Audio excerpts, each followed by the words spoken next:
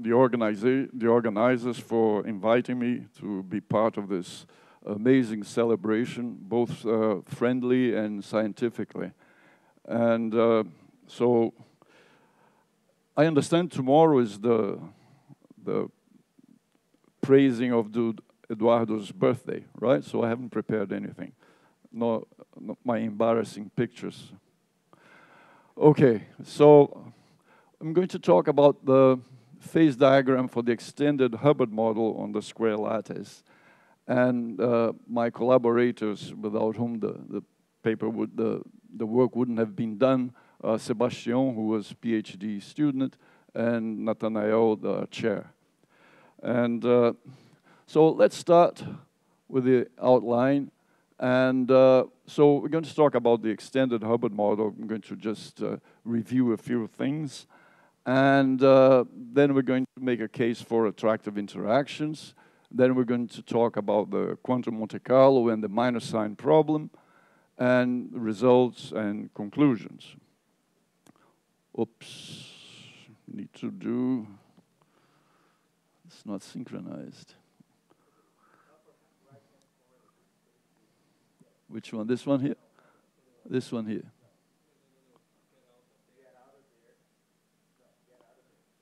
Oops, not there.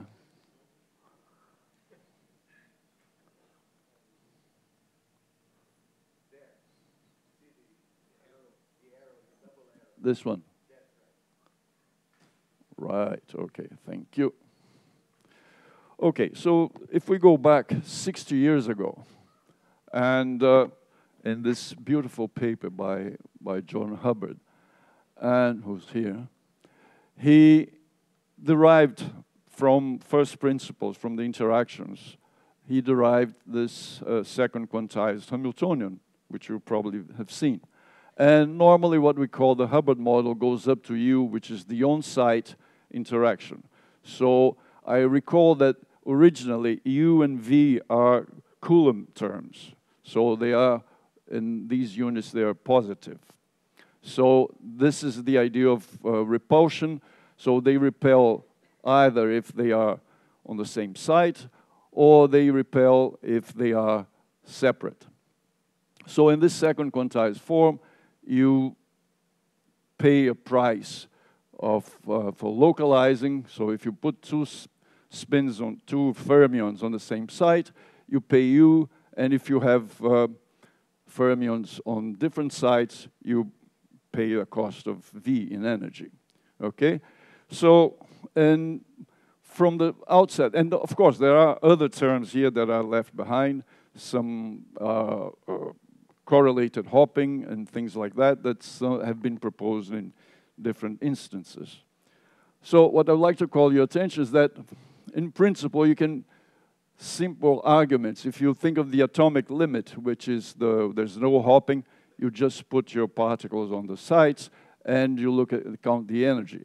So the antiferromagnetic energy for this configuration, I draw here uh, a one-dimensional lattice, but you can think of a, a two-dimensional lattice or a hypercubic lattice with Z neighbors. And the, the antiferromagnetic energy is Z over 2 and V. And the other configuration, which we call charge density wave, where you pile two uh, fermions on the same site, and this energy costs this, and you see that uh, the energy of the charge density wave state is smaller than the antiferromagnetic state if V is greater than U over Z.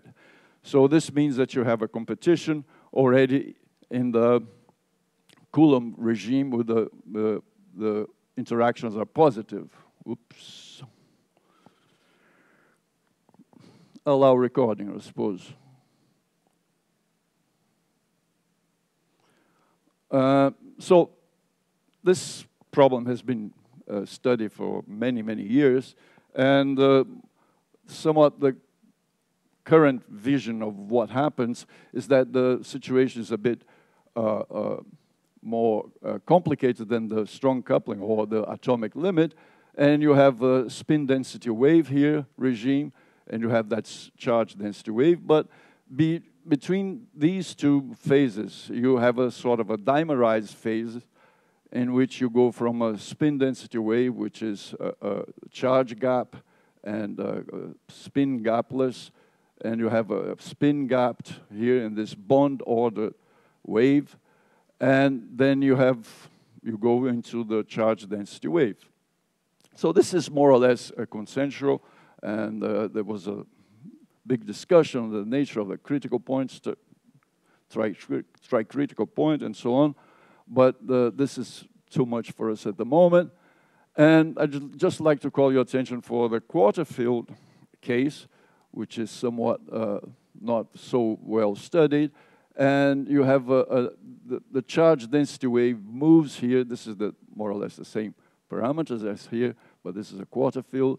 And you have a, a metal insulator transition and some indication of superconductivity right in this uh, rep repulsive quadrant. Okay? So if you now allow for attractive interactions, then what you get is that you get here the, the U and V. The charge density wave is uh, still the most stable phase in here. And then you have a singlet superconducting here in this regime, which is the both U and V negative. And then in one dimension, you get a triplet superconductivity. And beyond that, you get a phase-separated phase in which you get uh, uh, the fermions piling up all together in part of the lattice. Okay? So this is one dimension. And what happens in, if you include, uh, if you look at higher dimensions, for instance, the two-dimension the two-dimensional case. Uh, in two dimensions, you believe the, the, the attractive Hubbard model contains some very interesting physics. And for instance, the weak coupling is the BCS limit. So you can use this model to study the BCS, Bose-Einstein condensation crossover. And uh, so you can understand a lot of what's going on. If you look at the if you have some uh, simulations, and you can have different energy scales, different temperature scales.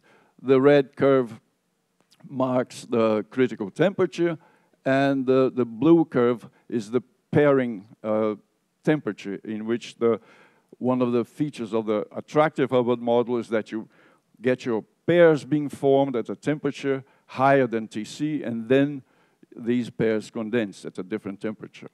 So you go from one regime to the other, and you can uh, compare now with some realizations, which is the ultra cold atoms. The, you can put fermionic atoms, neutral atoms, so we're talking not about superconductivity, but superfluidity. And if you look at the temperature uh, interaction strength phase diagram, you can go by controlling the uh, uh, an external field and control the, the Feshbach resonances, you can go from attractive to repulsive interactions. So this is a, a fine laboratory to test the ideas for the, the attractive Hubbard model and vice versa. So uh, one of the features of uh, ultra-cold atoms is that you can visualize what's going on. You can do a lot of imaging and you can, you can measure double occupancy, single occupancy, so it gives you an extra view of what's going on. So if you, now if you stick to the, the attractive case, you can also wonder whether you could see all these theoretical predictions, but the point is that you the experiments are here in this scale of temperature over T, you're working on this scale, whereas the critical points are all uh, further down.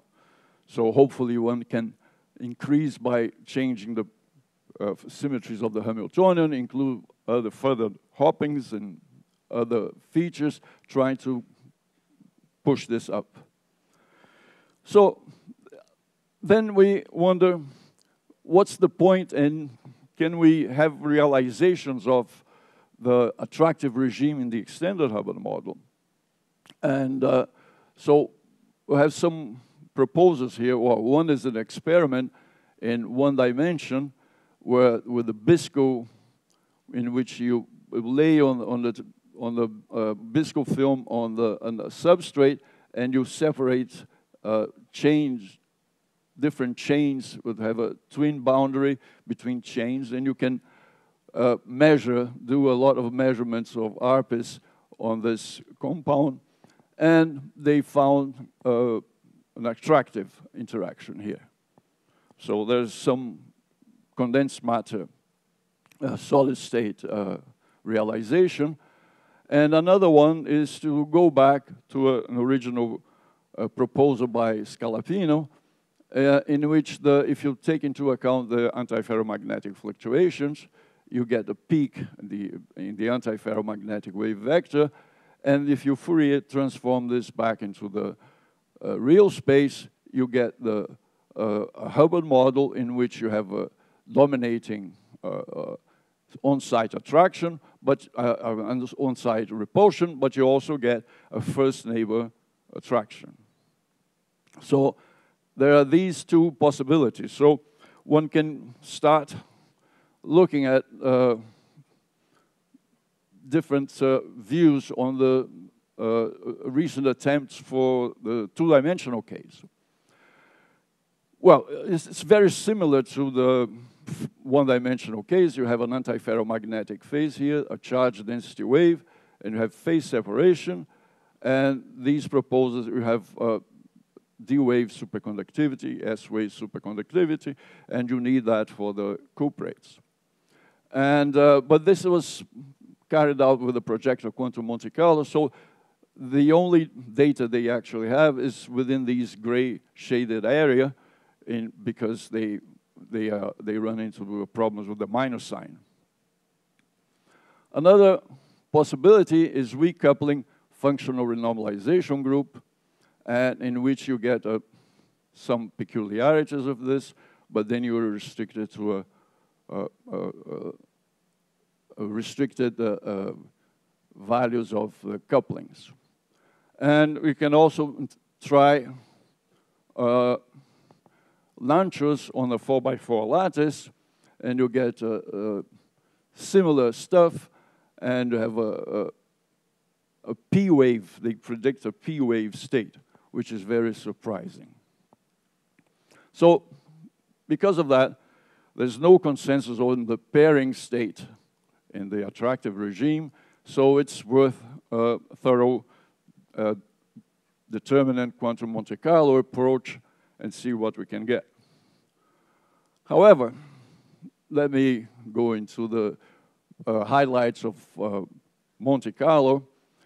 Uh, so you prepare the Hamiltonian in a sense that you have terms. This is written just without the, the, the V term, the the extended Hubbard model term. But this is, the, the, the, the, steps are roughly the same.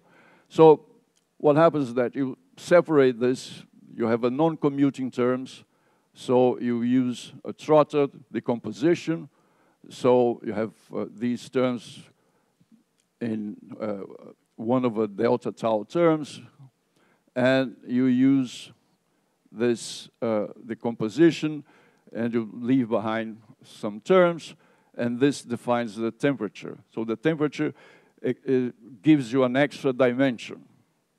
And we have, you still have two, uh, two body terms into, bi you need to change them into bilinear forms, so you prepare a Hubbard-Stratonovich transformation, and this is where we start to differ strongly from the uh, usual Hubbard model, because now, in the usual Hubbard model, what you do, you, have, you introduce auxiliary fields on each site.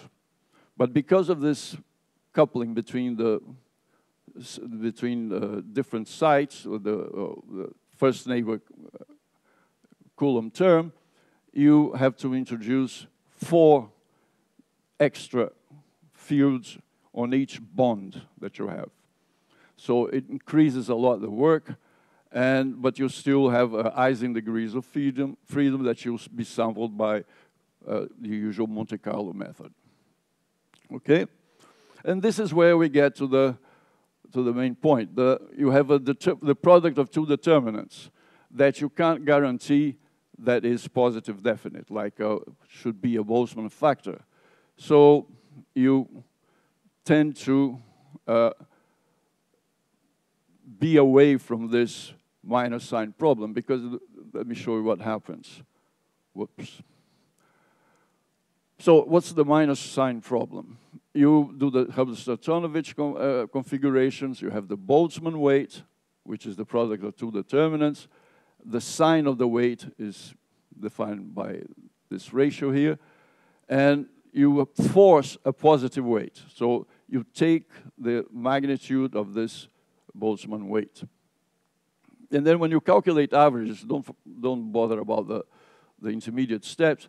It turns out that if you, the average value of any observable is given by the sign times the, aver uh, the, the, the, average of the sign times the observable in this new ensemble of the uh, magnitude divided by the, the average sign. Okay, so when the average sign is much less than one, this average is very noisy. And this is what you get, for instance. Uh, this is the normal, the usual Hubbard model. You have here an example of fixed, uh, uh, fixed U and different temperatures. You see that it degrades, the sign degrades steadily. And uh, if you go from one size, lattice size to another, it still degrades, there's no correction there. If you even go to three dimensions, you're in deeper trouble because the minima are in different densities. So for instance, if you increase u, you also decrease, the, this is the log of the sign, you also decrease the sign. So you're in, in bad business here, or in principle you were. So lots of energy have been uh, dedicated to defeat the minus sign problem over the years. So many theories, many attempts, but uh, none of them very uh, fruitful. So the conventional wisdom says, okay, stay away from situations where the minus sign bothers you, okay? Uh, however, there's an alternative approach, which is keep your friends close, but your enemies closer, right? So what you do is look at the, face the problem. So this is a, a very, very interesting paper published in, in last year by Rubem Mondaini and uh, Starat and Scalettar. Rubem Mondaini was a, a, student in our group, was Thereza Paiva's student. And uh, so what they looked is that, let's see if you can look at critical points. Use the minus sign to locate critical points. And what happens is that they plotted here the temperature as a function of chemical potential, or equivalently, the temperature as a function of density. This is the, the Hubbard model. And uh, here they, they plot the difference between the D-wave pairing uh, uh, correlation function, and the, they see that the, they track the minus sign. You see, the minus sign gets worse in the red area. So uh, the quantum critical point can be located in, uh, in uh, if you examine the sign as an additional, uh, uh, as an additional observable. So because of that, you can think of, for those of you who have seen this film, and especially the subtitle, which is How I Learned to Stop Worrying and Love the Bomb. You can replace this for the minus sign. And uh, so let's use the minus sign to our benefit. So we started doing the, the QMC simulations for the two-dimensional Hubbard model, extended Hubbard model. So let's look at the minus sign first. So this is a U equals 4, and we plot here the temperature as a function of V, and we plot uh, it's a, a, contour plot of the sign. So you see that the sign gets worse as you, the temperature goes down exactly at the critical point. The, remember the, the, the idea that v, critical V is uh, U over Z. So it should be U over 4, and then you, give, you get 1. So in the complete uh, space, UV, the, the, the worst areas are the ones in red. And the blue ones are where the sign is 1. So you, you can see that on the one hand, you get the transitions that you're looking for are exactly in when the minus sign is, is worse. So let's see how we can put all this together and see if we can make sense out of it. So let's look at the first quadrant, which is here, the U and V positive. And here we plot the uh, structure factor, the antiferromagnetic structure factor, as a function of V for different, uh, at a fixed temperature and for different lattice sizes. And we see that you change the character. And we also have the, the charge density wave structure factor here. And you see that when one goes down, the other one goes up. And this is followed, this is tracked by the, the minus sign. So the minus sign has a dip exactly where these two change. Okay, so this looks good.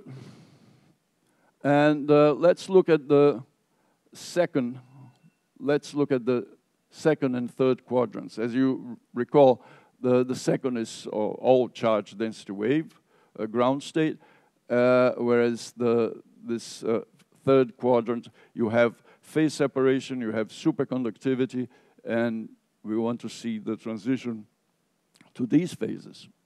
So it's a bit messy, but I'll, I'll, guide you through the, the data. So here is V, and you go from, this is V positive, and you want to reach V equals zero, which is exactly here. So you see that the dominant uh, structure factor here is the charge density wave. As soon as you cross here, this, uh, cross zero, as expected, you, you have superconducting correlations. The, these are the uh, superconducting uh, structure fa factor. Uh, as soon as you cross here, you find the, the superconductivity correlations increasing, and again, you lower the temperatures, they, they get more and more intense. And if you carry on uh, decreasing V, you reach this region where you get phase separation. Okay, so all these uh, correlations uh, show no intensity at all. And now let's look at the minus sign, what happens. The minus sign, as you, you, you come here, you have the, you know, that there's no minus sign in the, the Hubbard model, attractive Hubbard model. So as soon as you get here, you, you find a dip in the sign. And it, so it coincides with this increase in the correlations of the, of the structure of, of superconducting structure factor. And then as you move on, the sign picks up and goes back to one. So this is helping us to understand that uh, you can locate the critical points by using the sign together with this uh, noisy data. Uh, if you now you can change the, the magnitude of U and you see that the dip moves towards the lowest values of V. And then when you reach this uh, phase separated phase, what, how can you we characterize and, and, make sure that it is? You can do a, a, a histogram of the occupation. And you see that as you move towards to the left, the, the peak that, that you, you found at, uh, at half filling here, at, at, at density one, moves and suddenly opens, and this is what characterizes phase separation. You either have unoccupied sites or doubly occupied sites. So uh, the, it looks promising, and we can carry on and examine the superconducting, the, the superconducting correlations again, and see if we find a change in the character of the pairing. So you can now we look at susceptibilities, that, which is, provide a finer uh, uh, measure, and you here we plot the difference between the pairing, uh, the, supercondu the superconductive uh, uh, susceptibility, the difference between them, and we, the, when it gets to zero, you change from SD, for S wave to D wave. And uh, so these are the symmetries for you to understand. The, these are the form factors that come here. So we find a, a transition between a S wave and D wave, and P wave here is hardly noticeable. And uh, so the fourth quadrant is uh, interesting because that's where the, some people have predicted the presence of a P wave superconductivity. And so we do the same story. We plot here the antiferromagnetic correlation. Remember, we have, uh, in one dimension, we have a, a transition between uh, uh, an anti-spin density wave and a superconducting, and further down you have uh, the, the, the phase separation. So this is what we're looking for.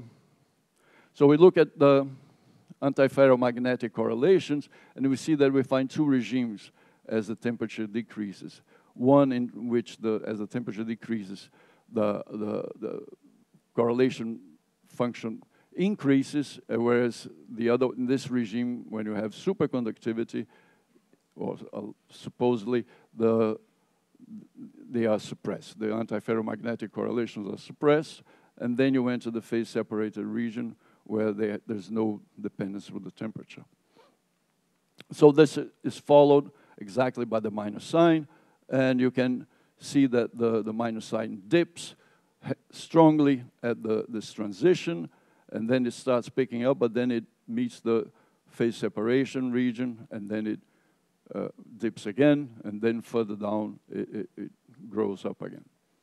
So this uh, is uh, similar to the superconducting. Now we compare the, the, the pairing correlation function with the, for, for the P wave down here and the D wave, and we see that there's a slight dominance of the D wave here. But then we have to look at the, do a finer treatment of this, look at the, the, the temperature dependence and the size dependence. So the suspicion is that the size plays an important role here. Uh, for L equals 4, the P wave is degenerate with the, the, the D wave.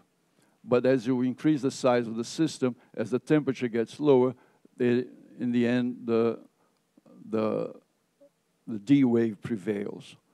And we also looked at the susceptibility, not just the correlation function, and we see for, a larger system, and we see that there's no doubt that the, there's no prevalence of, of the P wave states.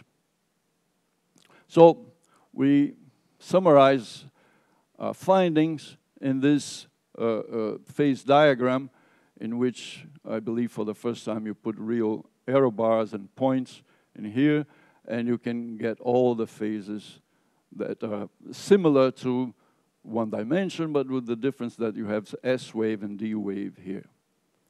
So, to conclude, uh, the use of the average sign as an additional observable allows you to locate critical points, and uh, uh, we believe that the reason, the one point that I didn't call your attention is that there's no indication of a sign between these two phases here.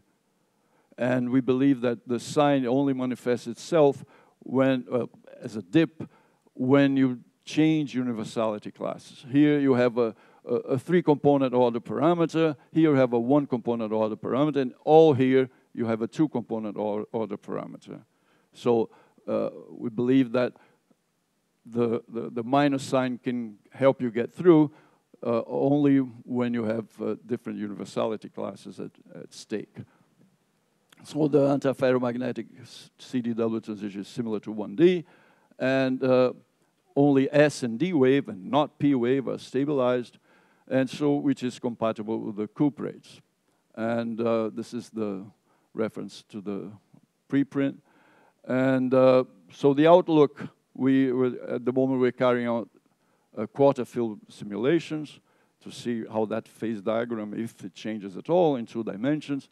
And we're looking at finite temperature transitions.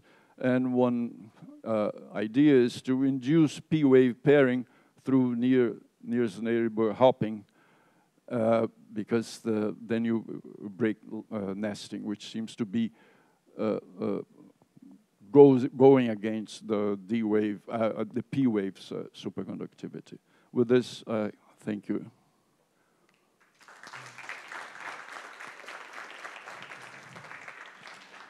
So, questions? So, uh, Raimundo, so you, you I, if I remember, this is for the square lattice, right? Yeah, square lattice. So yeah. I, I, I believe that for weak coupling, there is a critical value of V where you should get a G wave, uh, which is uh, has uh, eight nodes instead of uh, just four. Did you ever did you ever look for that? No, or? no, no. It's too it's too too hard. This one, I, I guess, it's too hard, but it, it's doable. But uh, we were just trying to get the main the main candidates here. But, but in principle, it's just. Oh yeah, it's just a question right? of testing and comparing right. all the all the susceptibilities and correlation functions. Eh. don't know. And I don't think so. Four by no, but you don't do four by four. You do you go up to ten. 10 by 10. When I say 10, is 10 by 10. And, and then the follow-up question is, you said that there is no sign problem between the S and D, right? When you go from the no, S no. What I what I meant was that or uh, there's no bad. dip. Yeah. There's no uh, noticeable dip that uh, would would uh, uh, uh, characterize the transition. So so it's it's pretty. it's more straightforward to access because the sign problem doesn't get. You can go to lower temperatures, as Yeah. So then I'm curious, um, when you go from S to D, you could have like a first order transition, which probably is more likely, but you could have an a coexistence phase of like S plus ID or S plus D, and they yeah. would break extra yeah. symmetries? We, we haven't tested that. Oh, okay. Yeah. Okay. We haven't tested for that. We just took the main ones and sure. just for uh, proof of principle. Uh, so just a simple question. Uh, I was a little bit confused about the, uh, the, the concept. So clearly you have shown for certain uh, uh, transition that has different universality, suddenly you expect a very strong sign problem, there's a dip. So I, am just a little bit uh, concerned about the logic.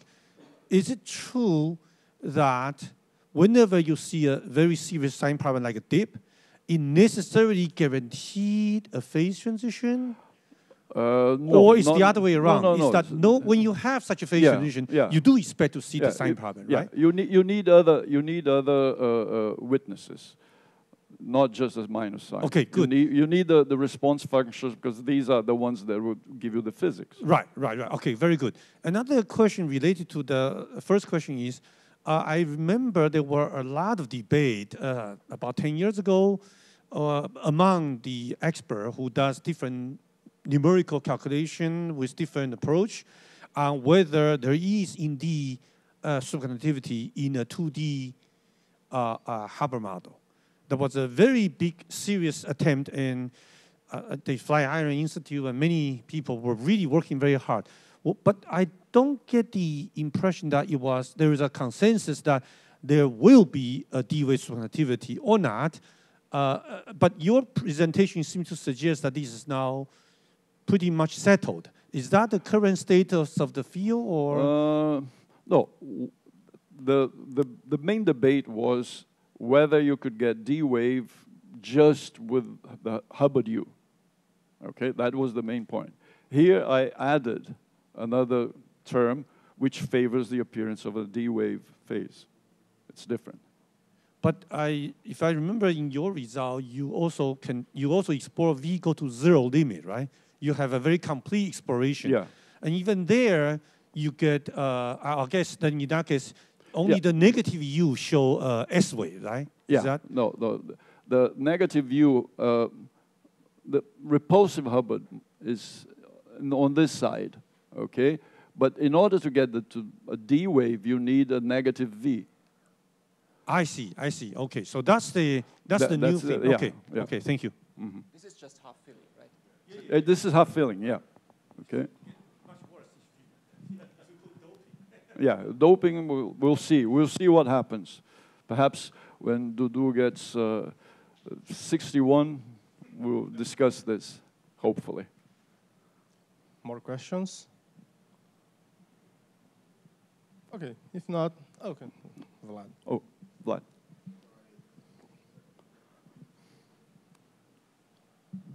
So this is uh, striking and very beautiful how this noise, how the sign problem tracks these transitions. But is there an intuitive?